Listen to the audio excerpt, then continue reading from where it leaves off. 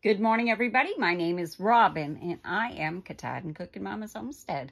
And I'm doing a Bible study, and I'm doing it in the book of Luke. I'm reading chapter 1. It is Sunday, um, July 16th, 2023, and it is 12 o'clock noon. So let's get started. For so much as many have taken in hand to set forth in order a declaration of those things which are most surely believed among us, even if they delivered them unto us from the beginning, were eyewitnesses and ministers of the word. It seemed good to me also, having had perfect understanding of all things from the very first, to write unto thee in order, most excellent Didamus, which thou mightest know the certainty of those things wherein thou hast been instructed. There was in the days of Herod the king of Judea a certain priest named Zacharias of the course of Abia, and his wife was the daughter of Aaron, and her name was Elizabeth. And they were both righteous before God, walking in all the commandments and all the ordinances of the Lord blameless.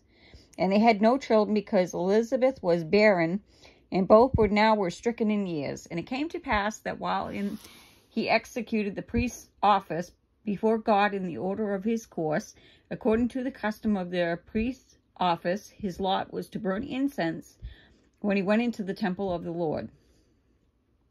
And the whole multitude of the people were praying without the time of incense. And they appeared unto them an angel of the Lord standing in the right side of the altar of incense. And when Zacharias saw him, he was troubled, and fear fell upon him. And the angel said unto him, Fear not, Zacharias, for thy prayer is heard, and thy wife Elizabeth shall bear thee a son, and they shall call him name John. And thou shalt have joy and gladness, and many shall rejoice at his birth. And he shall be great in the sight of the Lord, and he shall drink neither wine nor strong drink. And he shall be filled with the Holy Ghost, even from his mother's womb. Keeps on talking about the Holy Ghost. A lot of people are not filled with the Holy Ghost. And many of the children of Israel shall return to the Lord their God, and he shall go before them in spirit and power of Elijah, and turn to the hearts of the fathers to the children, and the disobedient to the wisdom of the just to make ready a people prepared for the Lord. And I'm prepared. And Zacharias said unto the angel, Therefore, whereby shall I know this? I am old man, and my wife stricken in years. And the angel appeared unto him, and I am Gabriel that stand in the presence of God, and I am set to speak unto thee, to show thee great, great tidings. And behold, thou shalt be dumb, and not be able to speak, until the day these things shall be performed.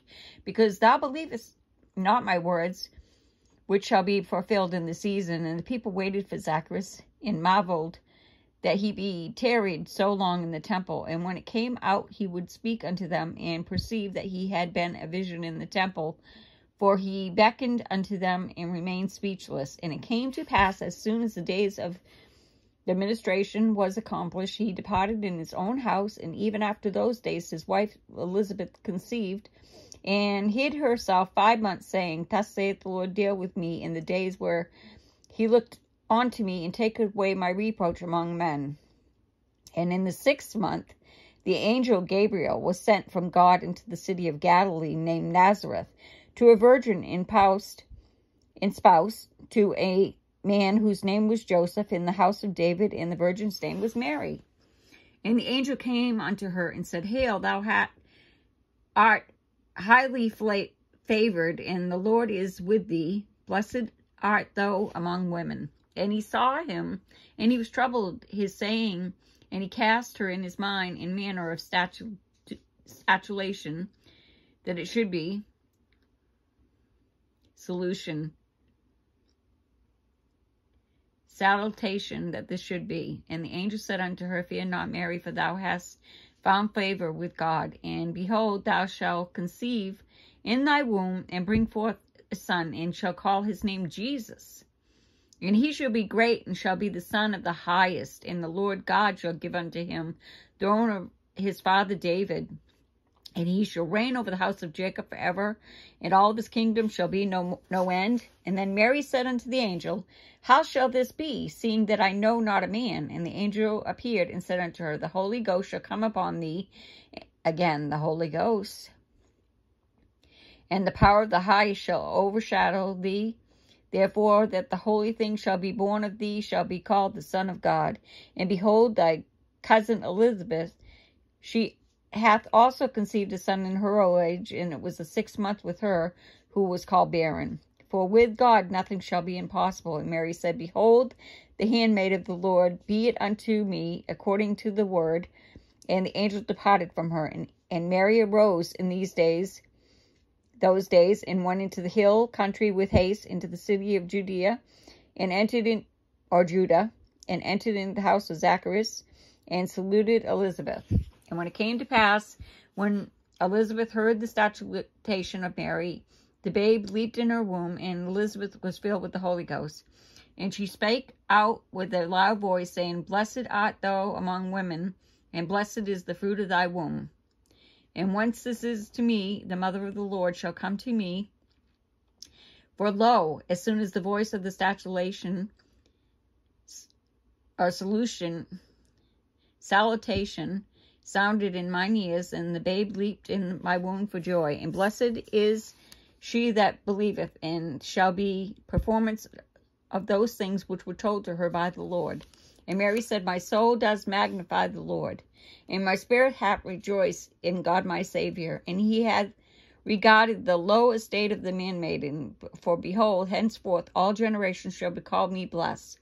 For he is mightily, he is mighty, hath done to the great things, and holy is his name. And his mercy is one on them that fear him in the generation to generation. He has showed straightness with his arm. He has scattered the proud in the imagination of their hearts. He hath put down in the mighty of their seats, and exalted them in the low degree. He hath filled the hungry with good things, and the rich he hath sent empty ways. He hath opened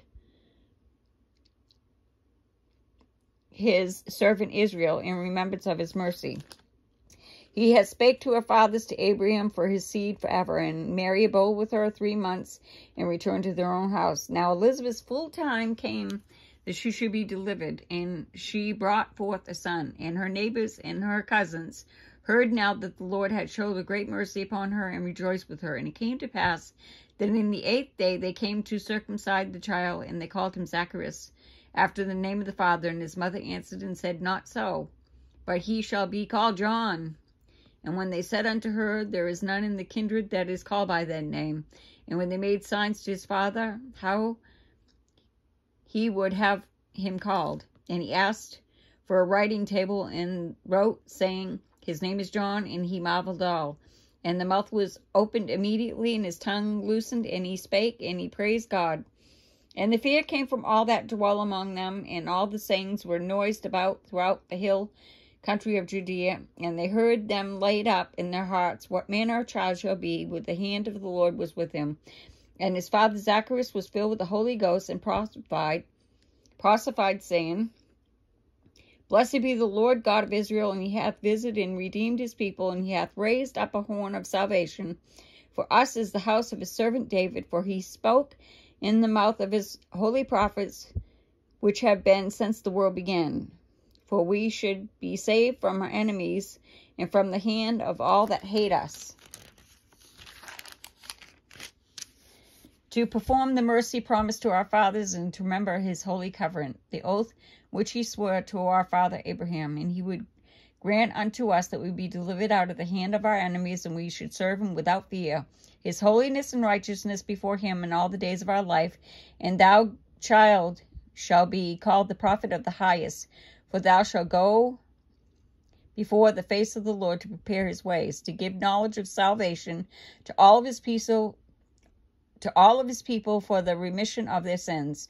Through tender mercy of our God, wherein the day spring from the high hath visioned, hath visited us, to give light to them that sit in darkness and in the shadow of death, to guide our feet in the way of peace. And the child grew and waxed strong in spirit and was in the desert till the day of his showing into Israel. So I hope this finds you well. I'm going to say a small prayer, and then I hope you have a happy Sunday.